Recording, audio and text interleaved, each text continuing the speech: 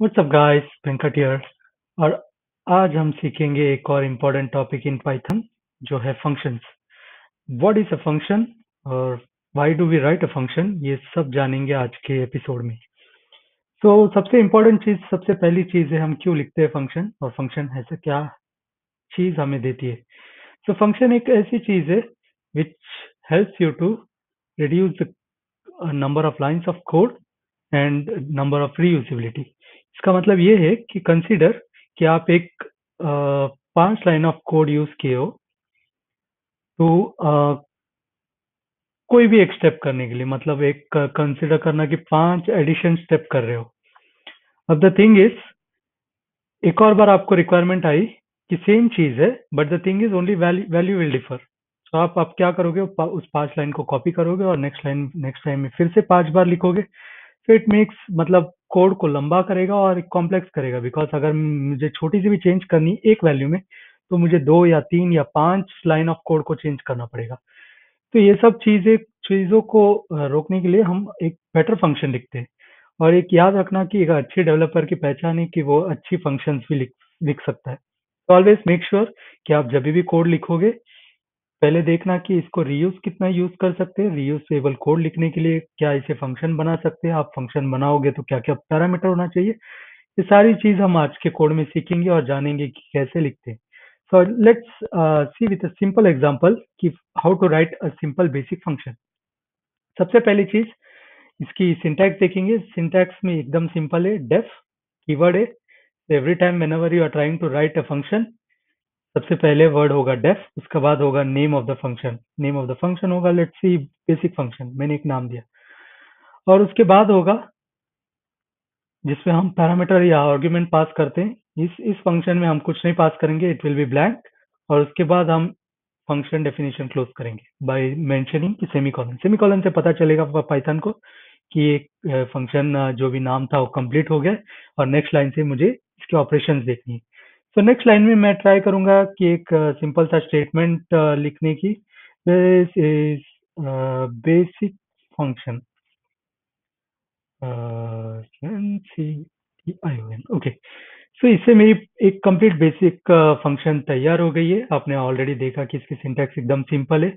But अभी इसको run करने के लिए ऑलवेज याद रखना, यहाँ पे इंडेंटेशन सबसे इंपॉर्टेंट चीज़ है। इट कैन टेक चार स्पेस या एक single tab this is what we follow as a rule of thumb it doesn't matter कि आप तीन तीन स्पेस रखे या तीन। अगर तीन रखते हो, उसके नीचे वाला स्टेटमेंट अगर एक स्पेस भी अंदर चला जाता है तो it will be consider as a part of the print function so अभी इसके हिसाब से अभी print function is a part of basic function इसका मतलब बेसिक फ़ंक्शन को जब भी कॉल करने की कोशिश करेंगे it will go to the next line और it will check for the indentation अगर इंडेंटेशन अंदर की तरफ़ है तो it will start executing let's try with a simple running तो इसको कॉल करने के लिए हमें कुछ नहीं करना है सिर्फ़ basic function name of the function और ये पैरेंथेसिस देने से ये रन होगा। Let's try to run this dot slash uh, functions dot py. As you can see कि यहाँ पे this is a basic function print हो गया स्क्रीन पे। Uh, बहुत सारे लोगों की क्वेश्चन होगी कि क्यों ना हम ट्राई करें। एक और चीज़ लेट्स ट्राई प्रिंट और मैं नाम दूँगा बेसिक फ़ंक्शन और मेरे इसमें एक और क्वेश्चन है कि क्या मैं सिर्फ़ प्रिंट और बेसिक फ़ंक्शन लिख सकता हूँ? ठीक, और इसको सेव करके रन करने की कोशिश करूँगा मैं।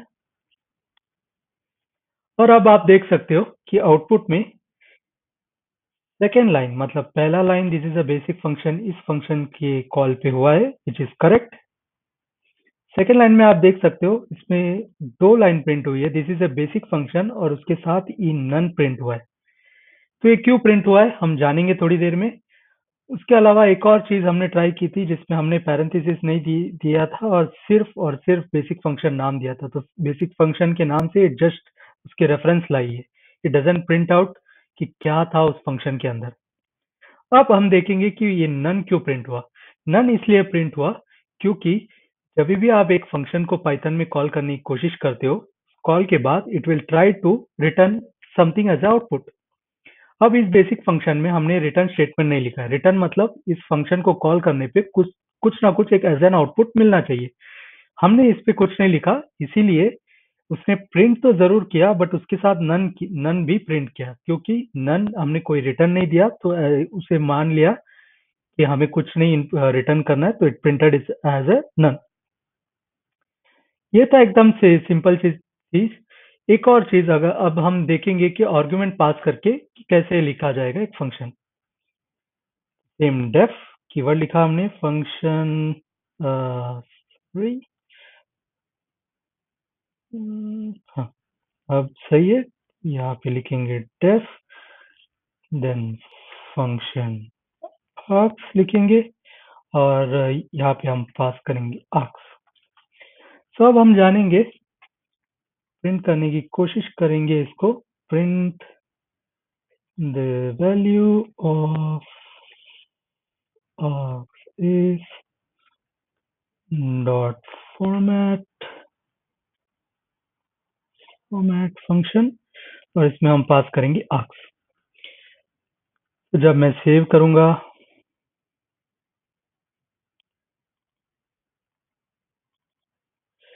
सेव करके रन करने की कोशिश करूँगा तो आप देख सकते हो मैंने कॉल नहीं किया so we will just comment कर देंगे चीज़ों को सो दैट uh, थोड़ी क्लियरिटी बनी रहे अपनी फ़ंक्शन और आर्ग्यूमेंट में पास करूँगा टेन फिर इसमें कोई कुछ भी आर्ग्यूमेंट पास कर सकते हो। मैं क्लियर स्क्रीन करूँगा and when I try to read on the function आपने देखा है कि मैंने आर्ग्यूमेंट पे एक, मैंने कुछ मेंशन नहीं किया इंट या फ्लोट या कुछ भी।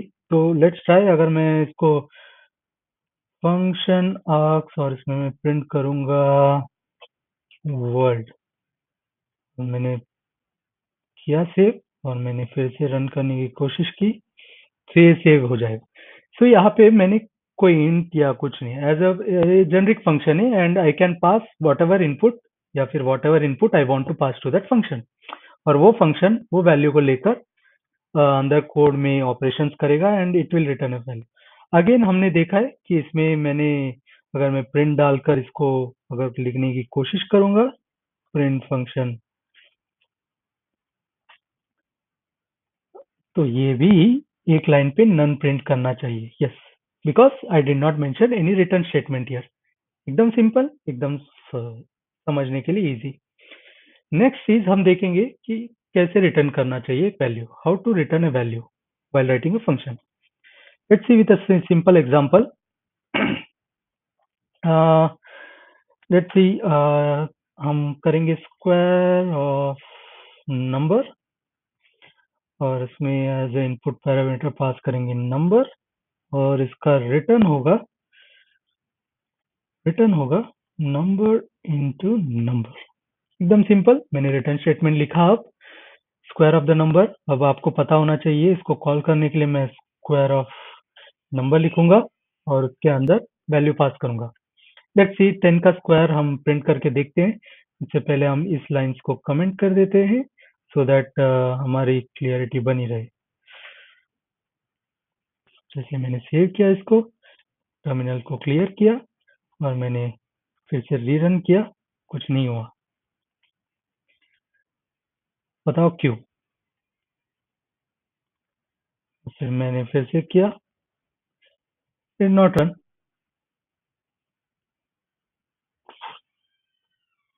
क्यों? क्योंकि अब यहाँ पे रिटर्न हो रहा है यहाँ पे कुछ प्रिंट नहीं हो रहा है। तो मैंने square of num direct call call करने की कोशिश की and it will not work अब इसको अगर मैं प्रिंट स्टेटमेंट के साथ आ, करने की कोशिश करूँगा तो आप देख सकते हो यस प्रिंटेड अप सो आपको ध्यान रखना है कि जब भी आप एक फ़ंक्शन लिख रहे हो और जिसमें कोई प्रिंट स्टेटमेंट नहीं है कुछ भी नहीं है और रिटर्न हो रही है ऑलवेज या तो उसे खुद किसी वेरिएबल में स्टोर करे लाइक like, uh, मैं अगर ऐसे कॉल करूँ hmm, इसको ऐसे भी लिख सकते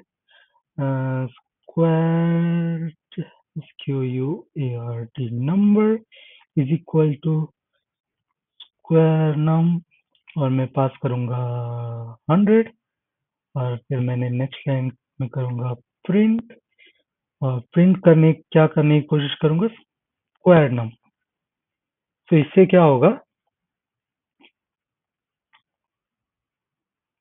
Square num is not defined क्योंकि स्क्वायर नंबर है square of num that was a mistake my side okay आप देख सकते हो कि पहले लाइन पे सही से प्रिंट किया एंड दैट uh, वो नंबर जो फ़ंक्शन की जो भी रिटर्न वैल्यू थी वो एक वेरिएबल में स्टोर हो गया और उस वैल्यू को हम प्रिंट किए तो it stored at ten thousand और नेक्स्ट लाइन में हमने टेन की square so it's it depend on you कि कैसे आप उसको यूज़ करना चाहते हो। इन रियल वर्ल्ड सिनेरियो में मोस्ट ऑफ़ द टाइम आप एक वेरिएबल लिस्ट या किसी में भी ही फेच करते हो। Instead of printing that out अगर प्रिंट प्रिंटिंग दैट आउट कब काम आता है, जब आप उसको डिबक करने चाह रहे हो कुछ करने की कोशिश कर रहे हो उस फ़ंक्शन को। एकदम सिंपल था। नेक्स्ट लाइन में अब कोशिश करेंगे एक डिफ़ॉल्ट वैल्यू अब आपको पता है कि जब मैं भी एक पैरामीटर देता हूँ नॉट एवरी टाइम अब इस पे एवरी टाइम मुझे पैरामीटर पास करनी पड़ेगी, नहीं तो फ़ंक्शन फेल होगा। व्हाट इफ़ मुझे नहीं पता कि मुझे अब क्या पास करना है तो क्या मैं एक डिफ़ॉल्ट वैल्यू सेट करके रख सकता हूँ? जी हाँ। आप एक डिफ़ॉल्ट वैल्यू सेट करके रख सकते हो, और उसको कॉल करने पे अगर आप इनपुट एज एन इनपुट नहीं पास करोगे तो डिफ़ॉल्ट वैल्यू लेगा। अगर आप इनपुट पास करते हो तो ओवरराइड होगा उस डिफ़ॉल्ट वैल्यू को और वो वर्क होगा। So let's start, let's try, let's try with a simple example. Def power of a function, let's see. Last time में मैंने स्क्वायर किया और इस बार पावर करने की कोशिश करूँगा x. X equal to one मैंने डिफ़ॉल्ट वैल्यू सेट की. नंबर की कोई डिफ़ॉल्ट वैल्यू नहीं बट x की वैल्यू मैंने डिफ़ॉल्ट सेट की. मतलब अगर मैंने x की वैल्यू नहीं पास की तो वही नंबर रिटर्न होना चाहिए बिकॉज़ कोई भी पावर का power of any number of one is the same number अगर मैं टू रेस टू वन करूँ two to the power one equal to two होना चाहिए। सो लेट्स ट्राई अब इसकी थोड़ी रिज़ल्ट uh, करने की कोशिश करेंगे। रिज़ल्ट में uh,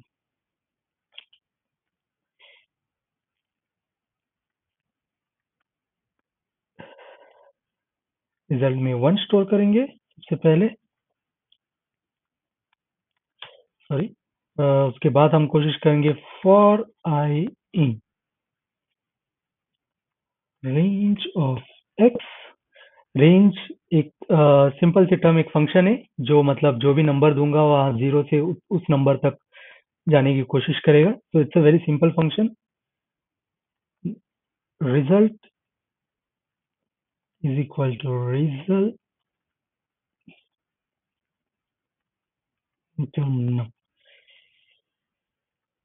return क्या होगा? ये फॉर के बाहर रिटर्न होगा रिटर्न रिज़ल्ट सो एकदम सिंपल अब इसको रन करने की कोशिश करेंगे. Power two let start with two मैंने सिर्फ़ नंबर पास किया एक्स पास नहीं की. So let's try with return statement है तो प्रिंट और हम कोशिश करेंगे power of two power of two raise to the one show return to terminal clear Python function yes तो आप देख सकते हो कि रिज़ल्ट में टू प्रिंट हुआ है। अब हम एक और एग्जांपल कोशिश करेंगे जिसमें हम एक्स की वैल्यू कुछ और पास करेंगे। X equal to two two to the power two four answer आना चाहिए। लेट्स ट्राई और मैंने कोशिश किया यस दिखा। एकदम सिंपल व्हाट इफ़ मुझे नंबर भी ओवरराइड करना है यार? जी ज़रूर लेट्स ट्राई अगर मैंने x, अगर x पहले मैंने दे दिया, x equal to two comma और नम इक्वल टू फोर तो इसका आंसर है four to the power two sixteen answer आना चाहिए. लेट्स ट्राई फेल हुआ. क्यों फेल हुआ?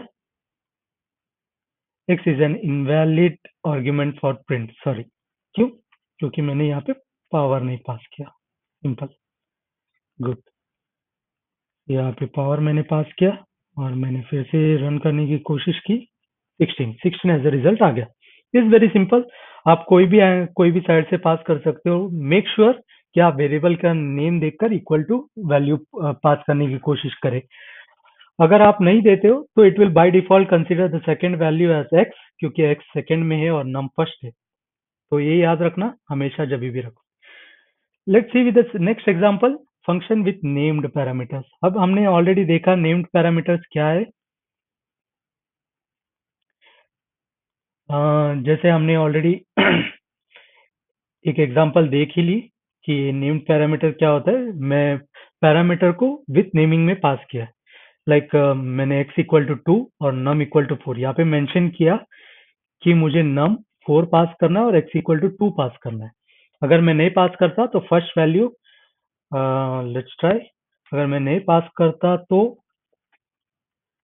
टू कॉमा फोर तो पहला वैल्यू ये क्या देना चाहिए आउटपुट सबसे इंटरेस्टिंग चीज़ हम पहले कमेंट कर देंगे बाकी चीज़ों को so that it will be easier for us to visualize it और मैंने सेव किया तो सिक्सटीन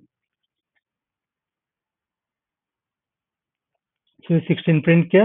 व्हाट इफ़ मैं इसको टू टू करूँ? सो फोर ये फोर इसीलिए प्रिंट किया है क्योंकि ये नंबर को टू लिया है और एक्स uh, को two what if two to the power four अब सिक्सटीन नहीं sorry four to the power two होगा. Four to the power two sixteen तो ये रिज़ल्ट आना चाहिए. सॉरी सेव नहीं किया मैंने.